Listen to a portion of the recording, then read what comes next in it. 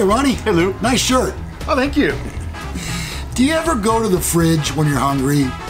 You open the door, and then you look in there, and there's nothing, so you close the door. And then two minutes later, you go back there looking again. I think I can find something this time. or maybe in that two minutes, somebody put something new in there. No, it's the same stuff. Yeah. Well, today on the show, hilarious things everyone is secretly guilty of doing, but they don't want to admit, Ronnie. That's on the next Men Are So Smart.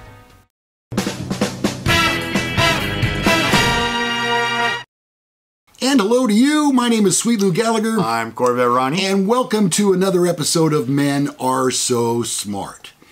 It's really funny. Sometimes uh, when it comes to doing things that we almost secretly guilty of doing, um, when I when I'm walking and and I kind of stumble a little bit, I, I always pretend like it's oh my knee. it might as well be my knee, but it's not. Probably 10% of the I time just it stumbled, is. yeah. Yeah. So uh, on our list today, first up, mumbling the name part during a rendition of Happy Birthday. You know what I mean? Happy birthday, dear. Happy birthday to you. Been there, mumbled that. You're at a birthday party for a person you only kind of know. It's time to sing and belt out happy birthday to them, and you give it everything you got until you get to that part. So you mumble something incoherently, hoping your sudden change in volume isn't too obvious. Happy birthday. So there you go. Mumbling the name part of happy birthday. I had to laugh when I saw this one. I do this every single day. You lower the, the music in your car so you can see better. Oh, yeah. Yeah. I do that too, Ronnie. So uh, we we went. I, I buy things off Marketplace or whatever, and or Craigslist, and the people give me their address, and I go there and I'm looking for their address, and I'm on GPS. Right. Okay. And then when I get close and I'm scanning for the, I turn off the music Yeah, you got to. so I can see the address. Right, because you got to see the numbers. and- Can't and see the, music's numbers. too loud. Yeah. Yeah. Uh, how exactly is turning down the volume going to help us on this parallel park? I don't think it does. Uh, who knows? It's just one of the many funny things people do that doesn't come with a simple explanation. Uh, it's just, I don't know why. But I do this. I can be in the car with my wife and the same thing happens. Yeah. I, and we both get really quiet when we're looking for something the last minute. It's, uh, it's very bizarre human nature. I, I don't know what it is. I guess it's unabil- inability to multitask. I don't know. Have you ever done this? Honey, I can't find my phone. Have you seen my phone? I can't find it. I might have left it in the house, but I'm not sure. Have you seen my phone? yeah, it's in your freaking hand. I do that all the time. Oh, man. Uh, that, that one- Hilarious things everyone is guilty of doing. Okay. You're sitting in your doctor's office. Uh-huh. There's a waiting room full of people, Right? and you're secretly diagnosing everybody that's in there for what they have. As if you were the doctor. Let's see. There's a common cold. Ooh, Hepatitis. I bet he's probably got the flu. Oh, uh, Ebola. Yeah, get the hell out of here. Ebola. Yeah, that happens. Eating a family sized bag of chips by yourself. guilty. I'm so guilty. I cannot eat a sandwich unless I have potato chips. Yeah. And if it's a big sandwich, good luck. There's going to be no chips left when I'm done. Do you ever put open up your sandwich and put chips Oh, of course I do, Uh, yeah. Fritos are the best for that, I Oh, think. you know what I like is those new ones, the chili cheese Fritos. Oh boy, those are good too. They're dangerous. Yep. And I was just telling you that I have eaten what's not meant to be a personal size uh, s- serving of ice cream. Oh, right. I've eaten a Ben and Jerry's Cherry Garcia all by myself in one sitting. I'm going to need your man card, Ronnie. Damn, but that's good. Yeah. Holy cow, it's good. Okay, this one we talked about a little bit. Ignoring an email for weeks, then writing back saying, Somehow this ended up in my spam folder. Oh, I just saw this. Oh, yeah. Sorry, I would have responded earlier. Yeah, but it wasn't a good time. Yeah, it just didn't work out. Yeah. I've done that. Uh, I'm the president of a homeowner association, and I get emails sometimes that I'm like, oh, you know what? I'm just, I don't even want to deal with this right now. I'll work on it tomorrow. And then tomorrow comes and goes. Yeah. Like, row, I, I do have to deal with this. And then you just forget it. Uh, Right. you know, that Yeah. happens too. And Yep. then, then you're, then where are you? Wielding a bare wrapping paper tube as a lightsaber. Who doesn't do that? How can You you, can really bonk someone with over the head with one of those. Yes.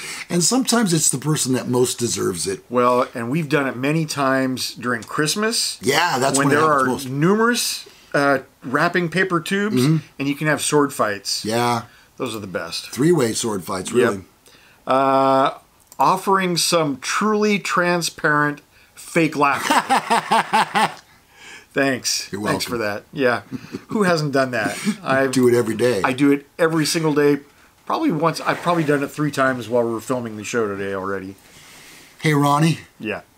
uh, I've been on the computer all morning here, so I'm gonna take a little break and go on my phone.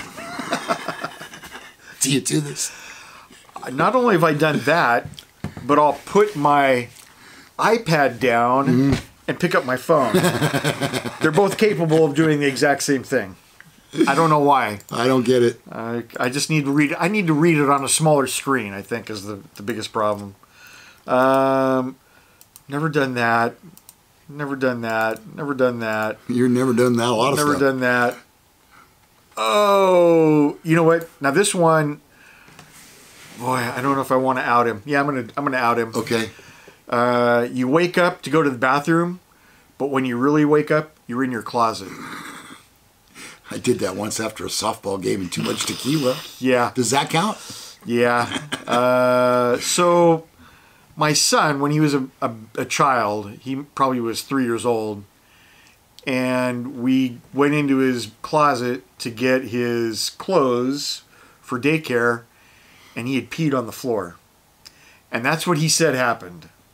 Is he he dreamed that he was going to the bathroom, but he was in the closet. Closet, bathroom, same thing. Eh, you know, No. he missed it by just a, a few steps. Ronnie, you go to the grocery store Oh, and you get about eight bags worth of stuff. Right. You don't realize it until you see it in all eight bags. right. You put it in your cart, you load it into the back of your car, you drive home, you open the trunk. You have to try to make it in one trip without. If you got to hook one bag over each ear, and yeah, you got to do what I'm you got to do do, because you have to do it in one trip. There I are like six trips. of them on my arm up this way, and then I try to get four or five more on this side. Oh man. Okay, so this one, you know what? I'm gonna let you do this one because Okay. this is not really this is not in my wheelhouse. All right, Ronnie, if you insist. Lying to your doctor when they ask you about your alcoholic consumption. Every time. just just on the weekends. I hope your doctor doesn't watch. Well, I hadn't even thought of that. Yeah, My doctor's pretty cool. He might. he might be Huh, yeah, so, problem. That's a problem. uh, and how much do you drink, uh, Mr. Gallagher? Uh, just once in a, a couple on the weekend. Yeah, I'm a social drinker. Right. Yeah, not yeah. unless we're out I really don't drink anymore, or any less. or any less. you should know. Okay, this one, I've done this a couple times. Oh, it's the worst feeling in the world. Oh. Accidentally sending a text to the person you're talking about. Yeah. Or even just make it simpler, sending a text to somebody who should not be receiving that text. Uh, Yeah. Uh, I've done it. Oh my God. It is the absolute. There's a lot of backstepping after you do that. Oh, sorry, this wasn't meant for you. Uh, I have an example. Um, this person that I work with during the day, they and I send texts back and forth uh, to one another. And um, one day, something happened. I got really pissed uh, at someone else. So I was going to send what I was going to say to that person if I ever faced him. And to my friend, I sent that and I said, "You know, you always do this. Why do you always defend when?" It, and I sent it to the the wrong person. I sent it to the guy. Rut-row. How that possibly could have come up on my screen, and how I possibly could not have noticed it, I don't know. But man, you know what? Somehow I got my way out of it, and I never thought about it again until right about now. You were also you had like an email thing, didn't you? Uh, to do with your radio show or something Oh, at one point. Yeah. That was super sketchy. yeah. Um, don't want to go into that. My attorney doesn't want me to. Ooh, dang. All right, now this one. Yeah. I love this one.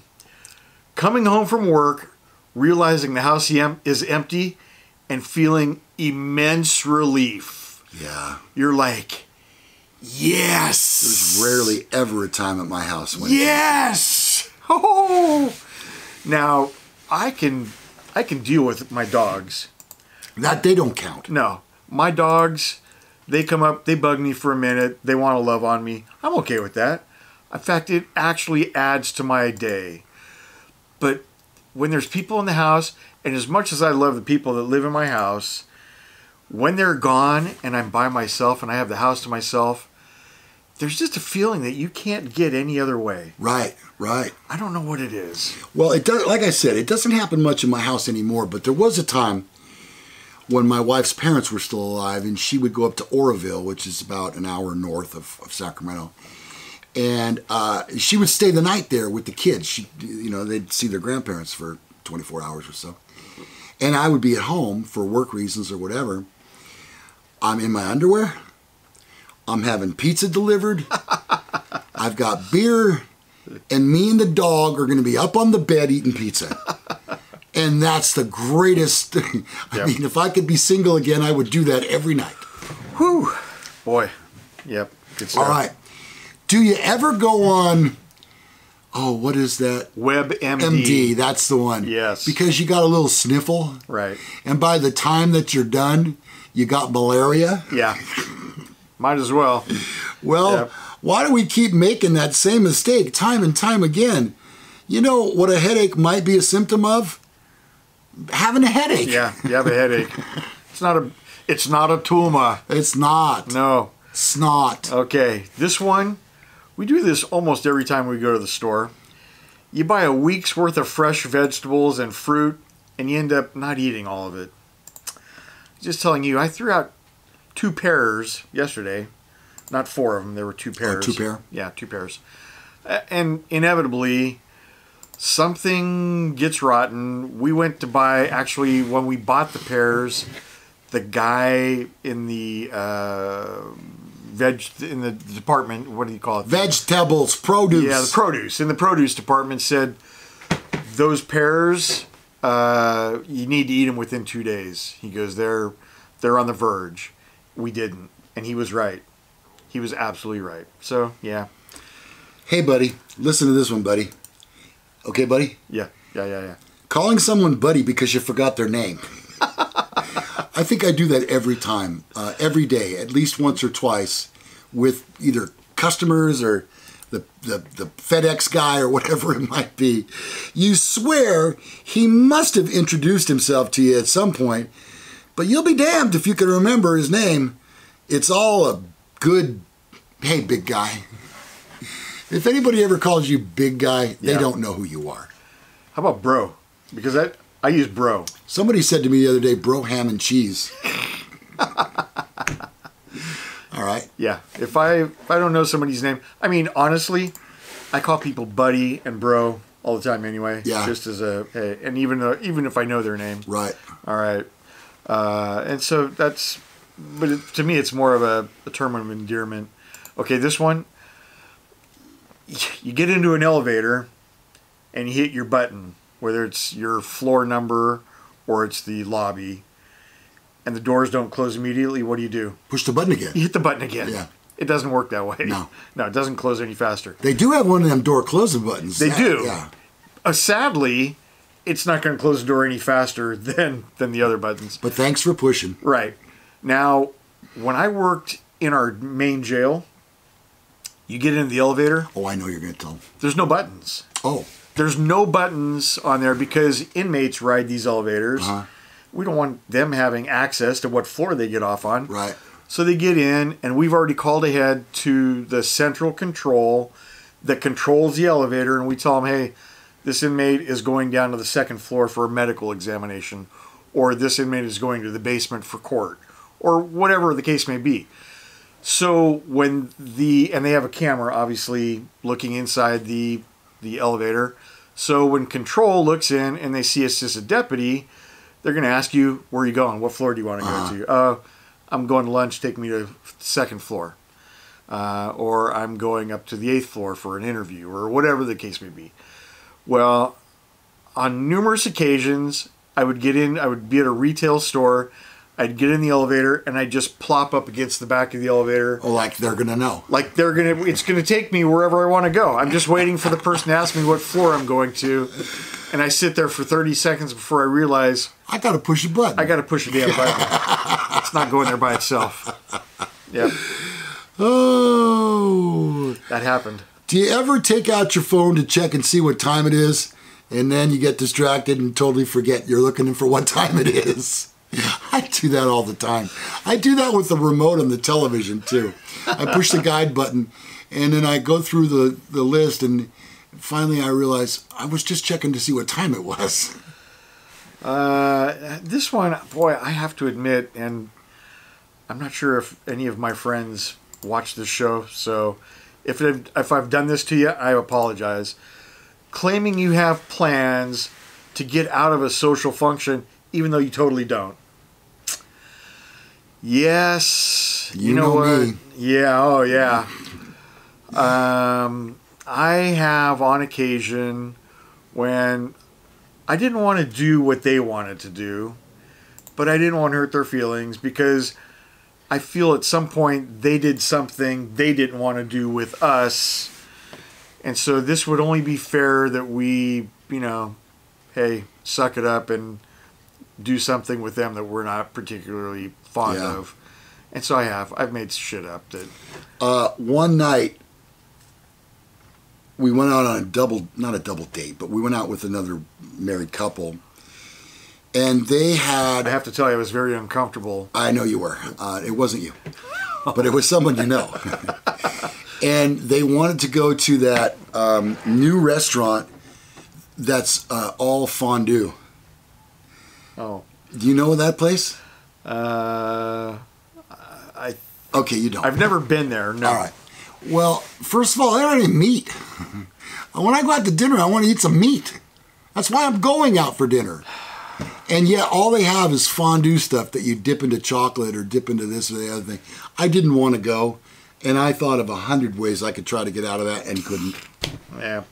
All right. Call me. Call me next time. I will. Yeah, because I, I can come up with something. Okay, so you're in the car, you're cruising along, Ronnie, and all of a sudden your favorite song comes on, and you just start rocking out. This is my jam. Uh, when the lights go down, and there's somebody looking at you. Yeah. Side eye, maybe even. Yeah. I was doing it the other day when I was actually singing, and somebody noticed that I was my mouth was moving, so I just started singing. Like you're a ventriloquist. I didn't want to give up singing, but I didn't want them to know I was singing or talking to myself, for that matter. Okay. Now this one, this is a this is a bit of a reach, but I've done it. I have two. Okay. Rehearsing a conversation in your head that you'll probably never have. Yep. So let's say that you've you've cut yourself on your arm or your face, and you're thinking about well, as soon as I get to work, somebody's going to ask me about it, and so I want to have a canned reply. Right. I want to, and you know, I want something witty, and so I'm going to rehearse it a couple times before I go over it. Yeah. Like when you break your leg. Right. I fell out of a rocking chair. Yeah. That's not going to work. Yeah. You had to be skiing the diamond, the black diamond run. I was trying to bust a bronco. Yeah, there's yeah. a good one there. Yeah. Yeah. Good- yeah, I fell off. I just I wasn't as talented as I thought. All right, next up on our list Uh, getting flustered and saying the wrong thing when someone said bless you when you sneeze. While most people would reply, thank you. Your confused brain somehow came up with you too. or you're welcome. Uh, so this one, I don't go to grocery stores often. I go to Sam's Club and Costco. That's that's the best of mine. Uh-huh. But this is it's uh, carefully inspecting an item at the grocery store because someone is standing in front of the one you actually want. Oh, yeah. You're so waiting for 'em. You're trying to get there, The Nestle's Quik. but you think that if you give the the impression that you want to go there, that they're going to stand there longer. Right. So what do you do? Oh, this is exactly what I'm looking for right here. Tomato juice. Let me look at this. Oh, the ingredients: tomatoes. Wow. Who knew? I didn't think they had tomatoes in tomato juice. Right. And so, yeah, just to try to move that person along, because yeah, if, if you're anything like me, and I know I am, I know you are. I will stand there for a little longer than necessary just to inconvenience the person behind me. You're like that, aren't That's you? just how I roll. You're vengeful. Throwing change and receipts haphazardly into your wallet to avoid holding up the line. I do that too. I don't even want to be there in the first place. No. So I'm going to get out of there as quickly as I can. I tell you, I went to Walmart the other day. Nuh-uh. Yes. In fact, I had to go to two Walmarts. Uh, the battery in my car went dead. Oh, dang. We had 100 degree temperatures. It was it was bound to go. Oh, boy. And Yeah. so my daughter, I was going to go to the local automotive retail place, and my daughter says, "No, you should go to Walmart. They're cheaper there." Well, I did, and they were. Yeah. However, they were out of stock. Aye. So not only did I have to go to one store, I had to drive another 10 miles to the, another Walmart to get the battery. God dang. I'm telling you, people in Walmart are just too much for me. So I want to get out of there as quickly as I possibly can. Yep. All right. This last one, I do this all the time. Uh-huh. All the time. It says giving your pet a pump up talk. Oh yeah, I do that. Okay. Well, I do it. I volunteer at a at a shelter, an animal shelter. Right. And so when I see those dogs, I and first of all, I'm I'm a dog trainer at the animal shelter, and so I'm I'm teaching dogs to do things that will help them get adopted. Right. And I'm also I take a brush with me and I groom them and I get all the extra hair off and everything. But the one thing I tell them before I leave is I won't see you next week because you are getting adopted. Don't worry about it. You're going home any day now. Oh, that's pretty sweet. And and so far, I mean, it's there's one dog down there. I don't know why nobody wants it. He's about eight years old, but he's a beautiful German Shepherd. Mm. I don't know why he's still still there. Yesterday was empty the shelter day. Oh yeah, yeah, yeah. I have a feeling that somebody came and picked that guy up. He was he was unbelievably handsome. He's so big though. He weighs 114 pounds, German Shepherd, and he could probably stand to put on five or ten pounds. He's not he's not fat. He's he's a little on the thin side. So maybe too big for most people. Yeah. Maybe a little older than most people want. He's so chill. He's an amazing dog. His name is Boris.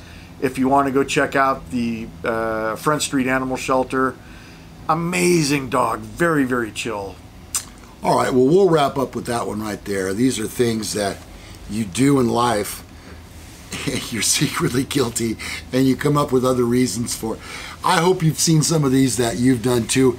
If you have, and we haven't mentioned them, please feel free to put them in the comments below. Yeah. We really do enjoy your comments. In fact, we do our very best to get back to each and every one of you who does leave a comment. Yep. Uh, if you made it this far in the program, we'd encourage you to please subscribe to our channel. It's important to us. We're on a quest to make it to 1,000, and we're in the 600 range right now, so we could really use your subscription, and it would be appreciated. Yep. I'm Lou Gallagher, I am Corvette Ronnie. and we will see you on the very next Men Are So Smart.